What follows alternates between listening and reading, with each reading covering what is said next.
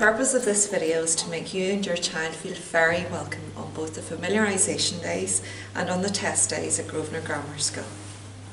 We want to really set out the system that we have in place and hopefully make you feel a little bit more comfortable when you arrive either next week or on the days of the AQE examinations. So hopefully you will find this informative and useful and it will help you get prepared for what lies ahead.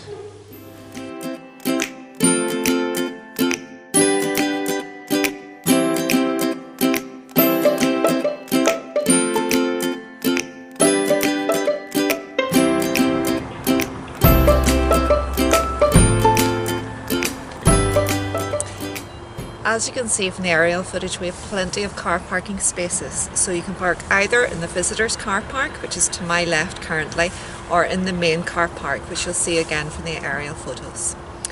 As soon as you come into the car park, probably the main entrance you'll come through is at this gateway to the side of the school. And what you're doing then is you can accompany your child right up to the front of the school and we're going to take you across and show you the cone layout that we have with a safe area for your child to be able to enter.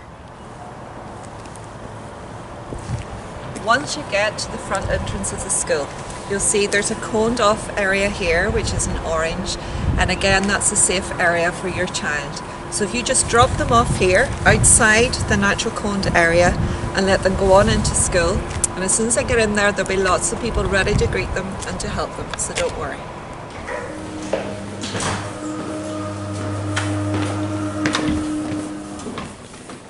So on the day, your child will come into the front entrance of the school. There will be lots of people on hand to help him or her.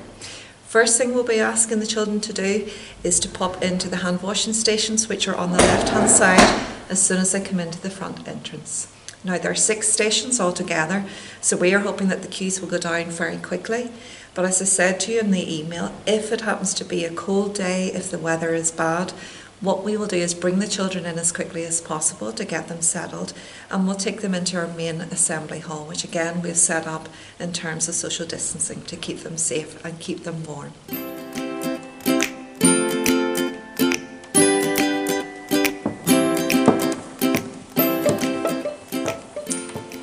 So welcome to our main assembly hall inside the school building.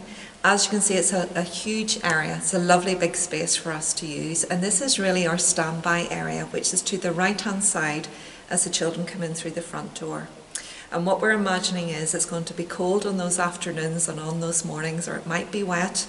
So this is the area in which we will gather the children socially distanced, because you can see the cones that we've already laid out, and this will help them. It's a lovely big room uh, and we will be able to cope with the large numbers coming in. But obviously, we're going to stagger your arrival times as well, which will also help ease the situation. You can see from the size of this room why we were very particular about still sticking to the idea of using the classrooms in Grosvenor Grammar School rather than this main assembly hall because we didn't want it to be imposing to the children. But when they first come in and they're all socially distanced and they're moving up to their rooms afterwards, I think they will really appreciate the space and they will be able to see their friends possibly from other primary schools or their own primary school and it will make them feel again very welcome.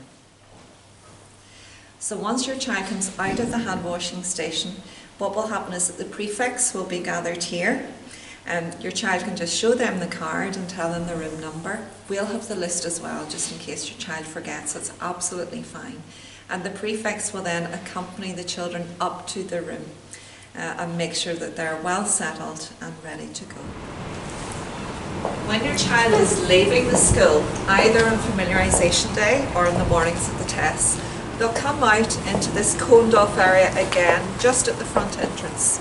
So the first thing that they will see and be told about is this green area set off with cones and we're going to bring them out one room at a time. We'll give you the order of the room exits on the day and also at the same time we're going to put that on our Twitter feed so hopefully you will be able to come from your car and come out and know when your child will be coming out.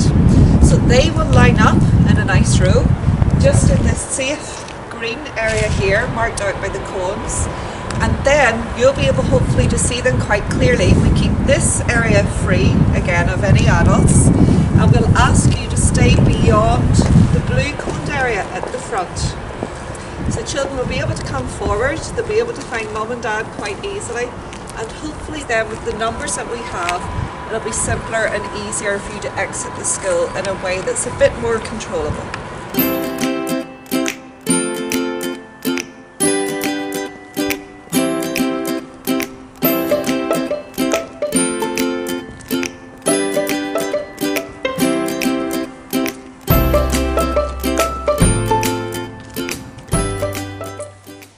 Thank you very much for your attention regarding this video.